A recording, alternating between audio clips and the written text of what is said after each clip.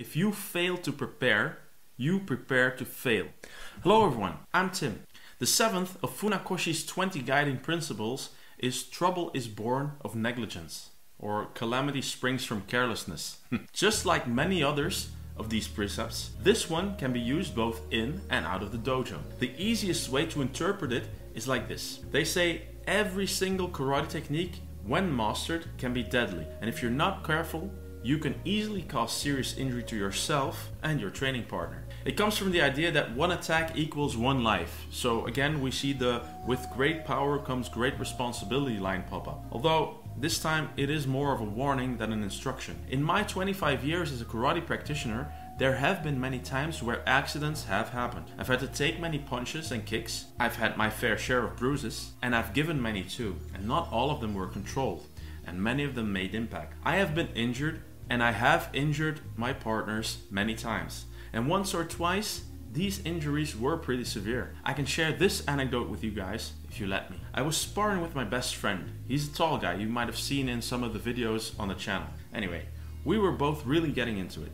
The fight was pretty intense. We knew each other and I decided I would take the risk of taking him down with a leg sweep slash hip throw. Now, this is over 10 years ago, and since then I have become more careful. But at that split second, I wasn't. I advanced, grabbed him by the waist, swung my leg up and beside him, brought it down, twisted my hip, and threw him to the ground hard. I must have miscalculated the throw, and he surely didn't expect it, which resulted in him landing awkwardly on his leg, injuring it badly. In the end, he had to quit karate for almost a year, had to have surgery on his knee. Today, he does still train, and we're cool, He's even my son's godfather. But that doesn't take away from the fact that that one split second, one tiny miscalculation, one blink of an eye, his karate career might have been over. When this video is over, please jump into the comment section below and share your battle stories with me. I'm sure most of you have have had at least one story where you got injured badly or when you injured someone else. I mean,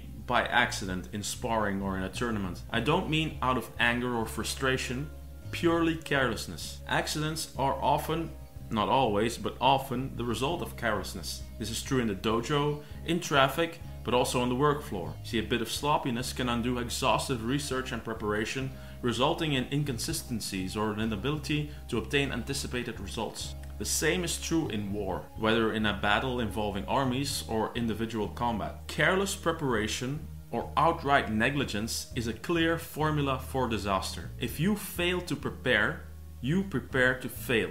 To prevent our efforts from going up in flames, we should constantly examine our actions and be cautious about our methods. Of course, we can't eliminate all accidents from our lives completely. We are only human.